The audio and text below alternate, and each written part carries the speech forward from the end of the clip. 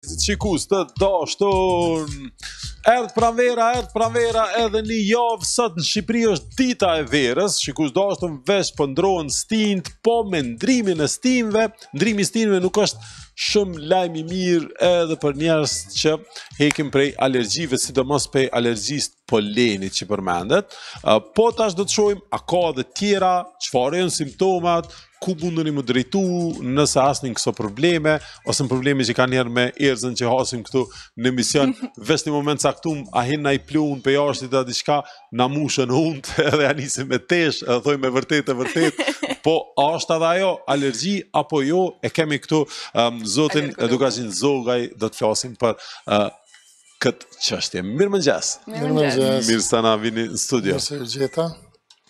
Na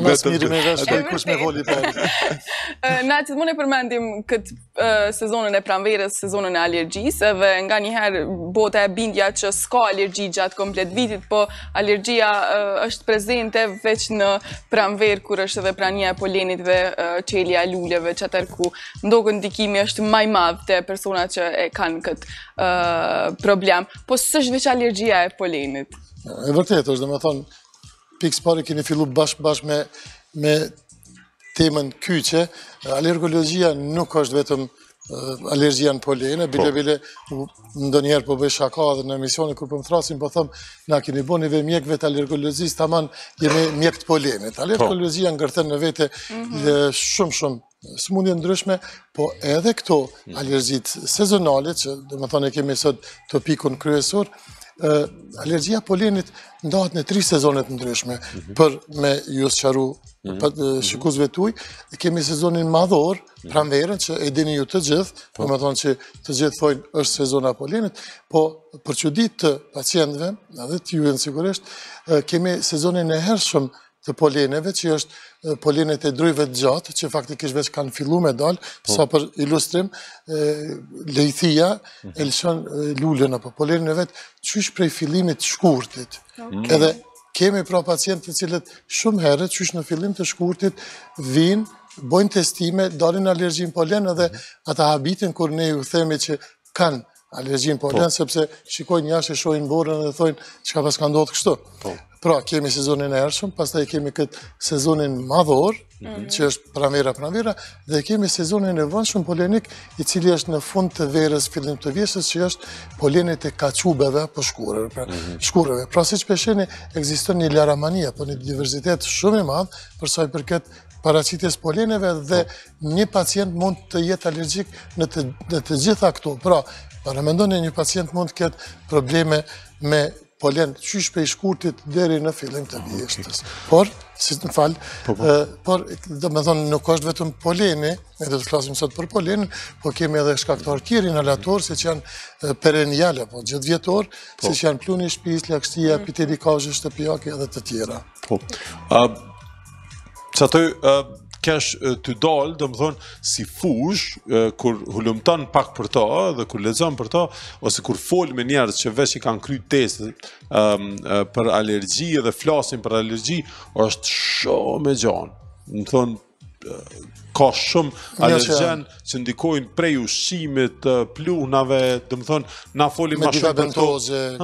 Medikamentoze, medikamentoze, barna, kontakt me substanca të ndryshme, kimike. Na folim pak ma shumë për këto, për këto që në anglisht airborne, domethonë që janë në ajër. Inhalatore. Inhalatore, po, po, shumë e gjonë, qysh, Do thënë qysh me gjetë dikush, për shembull nëse ka ndonjë brengë, po e zojmë për inhalatorët. Për shembull e kemi rastin tonë konkret, uh, për shembull edhe temin konkret, uh, nganjëherë n'shtëpi, kur lshohet ventilatori, ventilatori i termos, e vërej menjëherë domethënë që m'mbushen hundët, ose këtu prej ventilimit të studios, ose prej pluhnave, qysh me i detektu këto dhe me ditë saktë, çka është? Uh, Të themi përcaktimi apo diagnostikimi i alergjive inhalatore, pasi që sot po. flasim për inhalatoret, është shumë, shumë i thjeshtë. Mm. Domethonë, ekziston një metodë që quhet testi lëkuror, apo prik testi, ku është një procedurë shumë e thjeshtë. Ai pickimi, ëndo? Pickimi, ëndo, domethonë, mhm. dhe mhm. pastrohet parakrahu i pacientit, vendosen alergjenët e ndryshëm, mhm. bëhet shpuarja e tyre, Sipërfaqësisht, domethonë po. dhe një sen, as gjak nuk del, pritet, pritet 15 minuta, deri 20 minuta dhe e shohim reagimin. Do thotë, kjo është një mënyrë shumë shumë e lehtë, shumë e sigurt, dhe kisha shfrytëzu rastin që shikuesve të juaj t'jau bëj me dije, sepse e kemi testin kutan, po e kemi përcaktimin e alergjive nëpërmjet gjakut me serum. Por, unë do të doja të Potencoja faktin që testi apo standardi i artë për përcaktimin e alergjive është testi kutan apo prik testi. Pra, nuk ka asgjë më të sigurt, më të shpejt, më të lirë dhe më të saktë sesa prik testi. Ky me pickim, do të thotë. Me pickim. Mhm. Por ky bëhet vetëm për moshat 3 vjeç e sipër. Mhm. Në qoftë se ndonjë fëmijë është më i vogël se Tre vjeç atëherë bëhet përcaktimi i alergjive nëpërmjet gjakut. Mhm. Por, do e shfrytëzoj rastin të them që shumë shpesh, ndoshta me insistimin e pacientve, ndoshta me insistimin e laboratoreve, insistohet që të bëhen testet me gjak me pretendimin që janë më të sakta. Unë sot po ju them me përgjegjësi të plotë që standardi i artë për përcaktimin e alergjive mhm. është prik testi, pra nuk ka nevoj me bo teste me gjak, vetë pra është e përcaktuar kush. Mhm. Moshat e vogla, ata duhet me i bo. Më ka ndodhë të rritën e tjo. Më ka ndodhë me dëgju prej laboratoreve, tash e kemi me gjak, është shumë ma i saktë dhe një farë lloj. Ti vjen që mundet me qenë një farë reklame, marketing. Domethënë mu po më vjen keq, po është keqpërdorim. Mhm. Mhm. Domethënë edhe testi me pickim funksionon. Është standardi i artë. Mhm. Se ne gjatë ditës bëjmë shumë teste, po. ku 5% ndoshta ose 10% bëhen me gjak, mhm. dhe të tjerat bëhen me pickim, siç po, po thuni ju. Po.